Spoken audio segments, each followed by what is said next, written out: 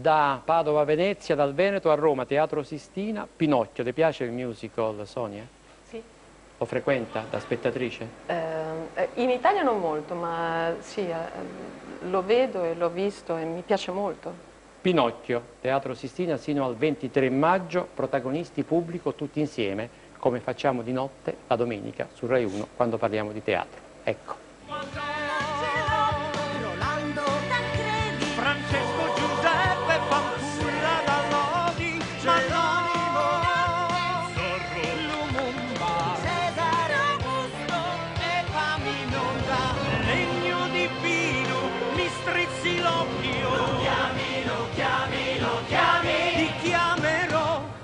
Pinocchio Sono passati sette anni, era il 14 marzo del 2003 quando questo Pinocchio eh, debuttava e addirittura nasceva un teatro anche per lui.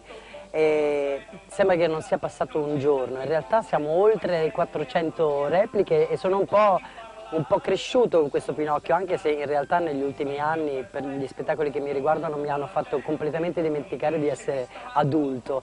Pinocchio, questa è la nostra casa. Pinocchio, questa è la nostra casa. Ho rivalutato questa favola interpretandola perché io sono stato uno di quei ragazzini che Pinocchio non l'ha mai amato nell'infanzia perché forse non trovavo in questa fiaba un- una via di fuga. Eh, Già succedeva nella vita quello che nella favola mi si diceva, non fare questo, non fare quello, si diceva le bugie ti cresce il naso e invece in realtà insomma questo spettacolo ehm, dà dei messaggi molto, molto precisi, molto belli riguardo alcuni valori che ogni tanto trascuriamo. Un insetto ripugnante. No, un grillo, ma parlante. E smetti di gridare che c'è chi vuol dormire. Ti stai rendendo conto che casino stai facendo. La fata turchina in questo musical, ma come anche nel libro di Collodi inizialmente, è una fata bambina. Io infatti rappresento la fata bambina, la bambina dai capelli turchini. Nessuno nasce per niente. Nella vita c'è un destino, sempre, e nessuno nasce mai per niente. Vivo con i miei animali notturni, il gufo, la civetta, ehm, il corvo. La fata turchina è un po' la sorellina maggiore di Pinocchio. È colei che si sente responsabile per lui perché è lei che dà vita a lui in una notte di temporale ehm, a questo pezzo di legno e quindi poi sarà responsabile per tutte le sue marachelle.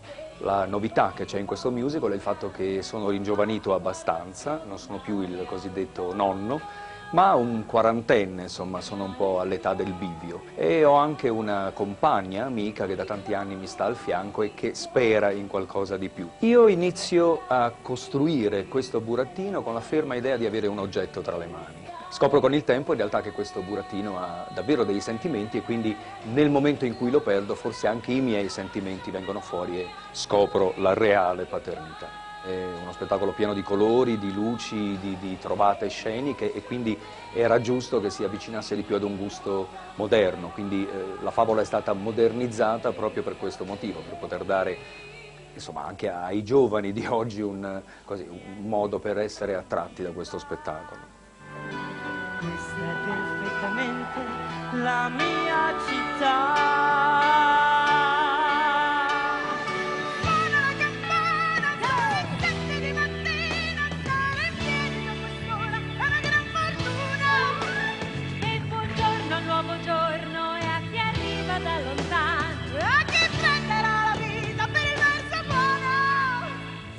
Spettacolo veramente straordinario, a me pi- piace la musica dei Pooh da sempre e ho apprezzato moltissimo per esempio il brano Figli che veramente prende moltissimo. Molti ricordi, molti colori, bellissimo. Molto bello, le musiche, le canzoni, scenografie. A parte mi piacciono molto i Pooh, per cui mi piace anche lo spettacolo. Molto la scenografia, tutto. E stavo dicendo proprio adesso, è sempre attuale. C'è sempre una ragione per essere e vivere. Questa rivisitazione di Pinocchio la trovo molto interessante, molto bella. Vabbè, un Pinocchio un po' moderno, giustamente, però... Molto molto bello, tutti molto bravi. Bello l'impegno artistico c'è, però è adatto per bambini. Molto carino, veramente carino. Eh, a me piace. No, è bellissimo, veramente, per piccoli e anche per i grandi. Ognuno